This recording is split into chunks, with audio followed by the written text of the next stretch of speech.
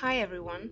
This video will help you understand how you can use Price2Spy to reprice your own products and become more competitive on the market. Who should use repricing? The repricing module is made for online retailers who want to adjust their prices based on their competitors. It helps you define your own pricing strategies, which can be segmented either per brand, category, supplier, or for all products in your Price2Spy account. Further, this module will help you make concrete repricing decisions and keep track of decisions you've done in the past. We have identified three types of repricing opportunities that Price2Spy can help you with. Clever Drop, Clever Raise, and Stock Assortment Opportunities. We'll start with the Clever Drop. Typically, these are overpriced products where your purchase price and profit margin allow somewhat lower price. If we drill into the product details, you'll notice that my website is ranked number 5 in terms of price for this particular product. Here we can see that we're selling this product for 908, while the cheapest competitor is selling for 899. Price2Spy suggests that we drop the price to 890, which would lower the profit margin from 44% to 41%, but potentially increase our turnover, since we'll be the cheapest competitor on the market. In order to get Clever Drop repricing suggestions, you would need to set your product's purchase prices. This is used to calculate your profit margin and it's set per product. Desired profitability, so we can see what's the lowest price you would go for, and competitor prices. Price2Spy will take care of this part. The second type of the repricing opportunities is the Clever Raise. Typically, these are the products where your price is already the lowest on the market, but way too underpriced compared to your next cheaper competitor. This means that you're leaving money on the table. If we go into more product details, you will see that my website is the cheapest competitor for this product, but the next competitor is selling for a significantly higher price, so we have room to increase our price. Here you can see that we're selling this product for 765 but since my next competitor is selling for 826, Price2Spy suggests that we should raise the price to 817 and increase our profit margin while staying competitive on the market.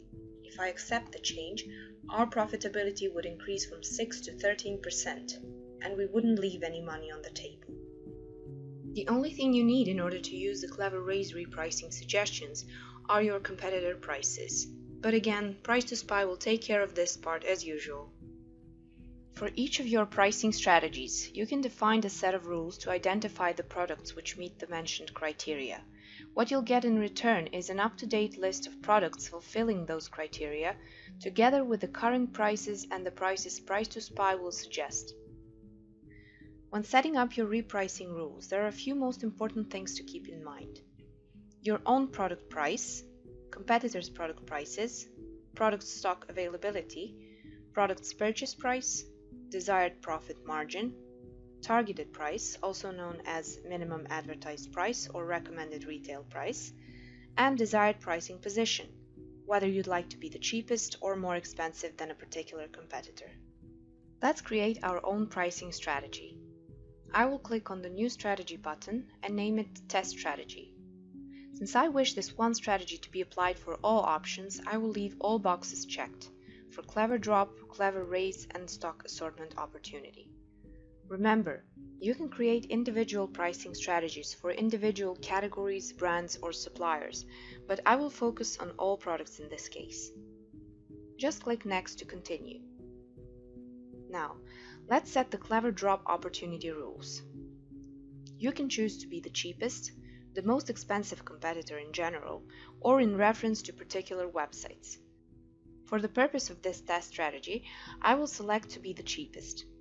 I want my price to be cheaper than competitors by 1%, and I wish to maintain a profit margin of 5%. Now I will apply this rule to all products for both my own and my competitor URLs, but you are free to choose to apply these rules only to available products, for example. Next, we will set the rules for the Clever Raise opportunity. I wish my price to be cheaper by 1% compared to any competitor, but please note that you can create individual strategies for particular competitors or competitor groups. Again, I will apply this rule to all products for both my own and my competitor URLs and click Next. For stock assortment, it's much more simple, since this option shows you only the products where you don't have your own URL or your URL is not available and there is at least one other URL which is available. You will be asked if you wish to create a widget for this repricing strategy on your dashboard and I will check this box so you can see how this looks like later. Now it's your turn to accept or reject repricing suggestions and to apply them in your own store. You will be prompted to approve the suggestions you wish to use to reprice your products. Once you enter one of the repricing options, you can choose to approve all repricing suggestions, or you can approve them one by one. Also, please note that if you don't agree with the suggested price entirely, you can modify it manually. If you have gone through the whole list, you can go ahead and click on Reprice. If you're certain that all approved changes are okay, just confirm, and this is where repricing methods come in. Depending on the way your store is integrated with Price2Spy, there are two ways repricing can work with your store. Indirect repricing. If your store is not integrated with your Price2Spy account, Price2Spy will prepare the repricing information, but you'll have to apply it in your own store. Basically, a CSV file will be delivered to you via email or FTP. Direct repricing is applicable if your store is integrated with your Price2Spy account, so Price2Spy will execute repricing changes directly within your store via Link My Store or webhook. In order to use the webhook, please note that some development would need to be done on your end. You can keep track of the repricing decisions you made in the past by entering your repricing log. Here you can see all previous repricing actions and by clicking on the number of repriced products, you can see an exact list of products you adapted the price for. You will notice there is a timestamp assigned to each product, so you will be able to see when was this price change made. If you remember, we have chosen to create a widget for our repricing strategy. So if I go to the dashboard, I will find the Repricing Opportunities widget. By clicking on any of the repricing opportunities, you will get to the part where you decide which repricing suggestions to approve. If you have any questions, suggestions or thoughts about the repricing module, please send us an email to support at price2spy.com.